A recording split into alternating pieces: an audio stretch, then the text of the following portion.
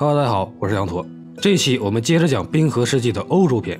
比起更新世的亚洲，大陆另一端的欧洲，那真可谓是雪花飘飘，北风萧萧，天地一片苍茫。冰期高峰时，几乎整个北欧和大部分不列颠岛都被数百、数千米厚的冰川覆盖。即便是在中欧的阿尔卑斯山脉的峰谷间，也存在大量的山岳冰川。而如今森林茂密的西欧、东欧平原，在当时却是开阔的干冷草原。这片草原养活了野马和野牛，还有猛犸象、披毛犀这样典型的冰期物种，和一众食肉动物组成了类似今天非洲稀兽草原那样的动物群。这片广袤的草原也从欧洲直通中亚、东北亚，甚至一直延伸到北美的阿拉斯加。相反的，作为如今欧洲标志性景观的森林，却退缩到阿尔卑斯山以南的地中海沿岸地区。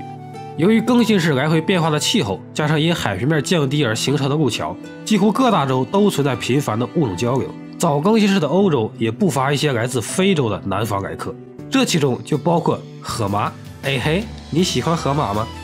整个环地中海地区，甚至不列颠岛都发现过河马的化石，既有比今天河马更大的古河马和巨河马，也有比猪大不了多少的岛屿型河马。可惜，这些河马大多没有挺过中更新世，仅有岛屿化的小型河马延续到了全新世。相比于自身条件受限的河马，长鼻目的各种大象才是脱非入欧的成功典范。作为著名的兵器古象，整个猛犸家族有着极广的分布范围，一些种类更是横跨欧亚、北美三大洲。从较早的南方猛犸到后面出现的草原猛犸和真猛犸，它们在欧洲可谓兴盛一时。同样是长鼻目的古灵齿象。在整个旧大陆也是遍地开花，在非洲有瑞士古灵齿象，南亚有那个著名的卫星纳马古灵齿象，而欧洲地区的代表是古老古灵齿象，它是目前已知最大的长鼻目，重约十到十五吨，有着相对长而笔直的象牙，故有直齿象这样一个俗称。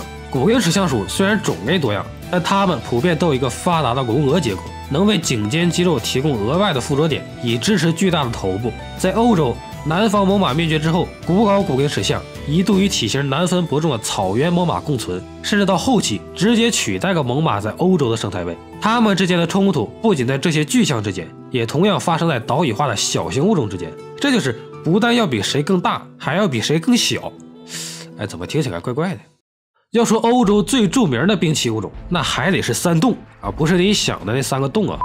这是洞氏三兄弟：洞熊、洞狮和洞八戒狗的简称。他们是更新世欧洲的顶级捕食者。先来看大洞，洞熊是一种已经灭绝的史前大型熊科动物，生存于中晚更新世的欧洲和亚洲北部地区。可能一直存活到了公元前二点七万年。洞熊得名于这种熊喜欢在洞穴中冬眠的习性。在大大小小的欧洲山洞中，曾经发现过数量惊人的洞熊骨骼。海量的化石使得我们对它的了解远比那些支离破碎的史前熊类多。早在十八世纪，欧洲的古生物学家们就详细的描述过这种粗壮笨重的大熊。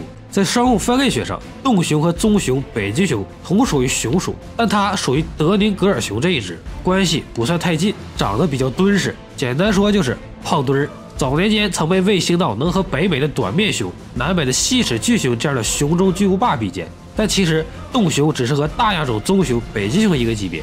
雄性洞熊通常重三百五至六百千克，极大个体可达一吨，但雌性洞熊的体型要小得多，通常只有二百二十五至二百五十千克。这种雌雄养态的差异，曾经导致一些早期的古生物学家错把雌性洞熊当成另外一个物种。前不久就和洞狮一样，在冻土中也发现了保存完整的洞熊尸体，而对其牙齿磨损痕迹及骨骼内稳定同位素的分析显示，洞熊并非是像郊熊或北美短面熊那样的危险猎手。相反，主流观点认为洞熊应该是高度植食性的，它们的食谱上肉类的稀少程度几乎和现代眼镜熊相当。虽然洞熊体型庞大，但在激烈竞争的晚更新世欧洲，它们所面临的威胁却一点不少。毕竟谁都知道，而洞里面既舒服又暖和。其死敌包括洞狮、洞斑鬣狗，以及能够使用武器和火把的尼安德特人。许多洞窟中遗留下来的残骸显示，曾经有不少洞熊在冬季的睡梦之中，稀里糊涂的就沦为了这些敌人的食物。再来看二洞，洞狮是狮类动物的杰出代表。与有鬃毛的现代狮不同的是，洞狮与化石狮和北美的拟狮一样，属于无鬃狮类。无鬃狮类究竟是独立的抱树种，还是狮的亚种，是一个有争议性的问题。因此，在不同的书籍和论文上，它的学名是不同的。DNA 分析证实了它们确实与现代狮是最近的亲戚。所有的狮类在距今二百七十万年前都有一个共同祖先，狮子可以说是有史以来分布最广的一种大型食肉动物。在晚更新世的巅峰时期，它们的足迹遍布世界除热带雨林以外的各个角落，是除人类以外罕见的世界性霸主。更新世晚期，冻狮雄居欧洲、北亚和阿拉斯加的大片地区，而现代狮的祖先统治非洲和西南亚，北美狮则占据美国甚至南美部分地区。狮子家族几乎把五大洲都瓜分了。能创造如此成就的物种，除了狮子，也只有遍布五大洲的巨齿虎了。洞狮是非常强大的猫科动物，这一点毫无争议。它的体型和骨骼的粗壮程度都明显超过今天我们能见到的非洲狮。洞狮平均水平就达到现代狮虎的最大级别，这意味着雄性洞狮平均就有三百千克左右，最大可超过四百千克。关于洞狮毛发的复原，得益于原始人类的岩画。这些在法国、德国、山东中保存至今的史前艺术品。向我们展示了洞狮与今天的狮子与众不同的特征。毕竟是无鬃狮的一种，那自然是个光头，没有鬃毛，而且身体上是有斑点的。另外，可能还有和猎豹同款的泪斑，作用可能类似于滑雪的时候佩戴的墨镜，防止被冰雪反射的阳光射伤眼睛。这些与现代非洲狮的种种差异都表明，洞狮很大概率是没有大群体和复杂的社会行为的，是以小家庭模式过活的。无论是习性还是身体结构，应该更接近于如今的虎。虽然在非洲的不少地区，狮子是持平甚至碾压斑鬣狗的，可是双拳难敌四手。独居的洞狮尽管体型庞大，但也难以招架数量众多的冻斑鬣狗群。在它们形成的地方，洞狮一般选择它们不爱吃的驯鹿来避免一定的竞争。三洞就是洞斑鬣狗，它是斑鬣狗的史前亚种，体重可达一百千克，比斑鬣狗大不少。四肢比例有差异，前高后低，没有斑鬣狗明显。现在人们一听到斑鬣狗，往往马上就会联想到炎热的非洲稀树草原。实际上，斑鬣狗的足迹一度遍布整个欧亚大陆，欧亚大陆也是猎狗科的起源演化中心。上新世时也曾短暂入侵北美，与犬科动物叫板。动物斑鬣狗很好的适应了更新世欧洲的寒冷气候，从西班牙到西伯利亚一带都有分布。就和斑鬣狗一样，经常会把猎物的尸体带回洞穴中享用，在洞穴中积累个厚厚的尸骨层。从尸骨层中骨骼的种类和数量上看，动物斑鬣狗的主要猎物是野马。几乎占了其食物来源的一半，但在更新世末，由于某种不可考证的原因，分布于欧亚的斑鬣狗亚种纷纷走向灭绝。其中，气候变化是一个主因，另一个不容忽视的原因就是强烈的竞争者。同为群居掠食者，狼的群落组成更加灵活，而且狼的食性更广泛，还能做某个物种的舔狗。随后，斑鬣狗的欧亚大陆生态位逐渐被狼所取代，可惜了一个在欧亚大陆叱咤风云的家伙，最后飘零异乡。如今，欧洲繁密的森林最常见的就是林间跃动的鹿。欧洲古代的贵族一直有猎鹿的传统。鹿不但是食物，其角也是重要的装饰品。当第一批人类抵达欧洲时，有一种鹿的鹿角深深地震撼了他们，这便是有着宽度近四米、重约四十五千克巨角的大角鹿。一般我们常说的大角鹿，特指大角鹿属下的巨大角鹿。因为在爱尔兰的森林沼泽中发现了上百具保存完好的骨骼，故也被称为爱尔兰大角骨。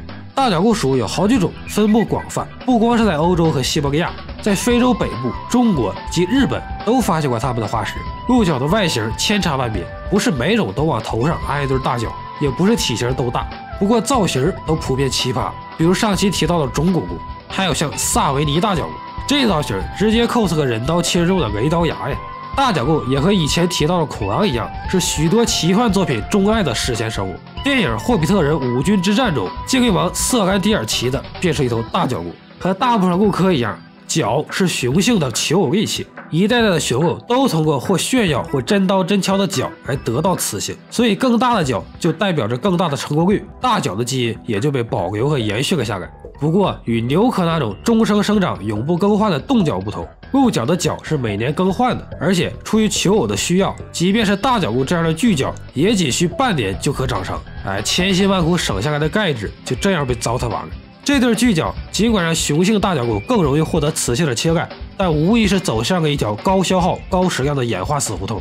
大角鹿大约灭绝于七千多年前，堪称冰河时代最后消失的北方巨兽。当时寒潮已经退去，大片的森林又回来了。可惜，对大角鹿这样特化的草原型大角鹿来说是无福消受的，它们就这样死在了一片春意盎然中。其实，欧洲最早出现的豹属成员是欧美洲狮，但它并非本地物种。大约在上新世至更新世之间，由南方的非洲进入欧洲。根据分子生物学的证据，欧美洲狮是非洲大猫中最早分化出来的一只。不但在欧洲兴盛发达，其中一只还沿着欧亚大陆继续向东扩散，经过白给沟桥进入美洲大陆。进入美洲的它们为了更好地适应当地的自然环境，体型开始变小，四肢也相应变短，食性当然也要发生改变，演化成了如今的美洲豹。看过之前视频的小伙伴应该知道，当时的北美可谓是群雄并起。几大肉食贵州瓜分势力范围，各种有机类没有以前容易吃到了，于是只能尝试一些旁门左道的猎物，比如凯门鳄、龟、球鱼这些中小型还叠甲的。就靠吃这些其他大猫不屑一顾的动物，南美的美洲豹成功的度过了更新世末末期的大灭绝，而体型更大的北美亚种奥古斯塔美洲豹却与剑齿虎、美洲拟狮等大型猫科动物一同灭绝了。曾经的三个掠食者迅速占领了顶级掠食者的位置，之后更是重新北上。美洲豹的演化扩张史几乎就是被狮类一路追逐的历史，就和锯齿虎一样，其在旧大陆的势力范围不断被蚕食，从非洲到南美，跨过山河大海，一路颠沛流离，终于在南北找到了自己的位置。冰川时代的欧国巴同样是冰天雪地，与其他大洲不同的是，尼安德特人带着长矛与火种走出非洲，傲然降临，与洞中三杰为存亡而死斗不断。无论是谁，每当热血洒尽之际，绽放的红花很快就会褪色消散，无从察觉，一如那转瞬即逝的荏苒光阴。可惜神矛不能带来永恒，洛基的烈火也会熄灭。强大的尼安德特人竟成最先退场、昙花一现的过客，而对于其他生灵来说，这只是启示录的前奏罢了。寒溪指、黄昏至，更加可怕的智人与东去春来的天时巨变一同结束了一切。弹指一挥间，匆匆数万年。彼时这里曾冰河交错，雪鹤纵横。如今人们却只能从轮廓破碎的地貌上想象当年奥丁韩熙的神威，与至今依然熠熠生辉的壁画中那些不甘平庸的勇士和猛兽四方厮杀的传奇。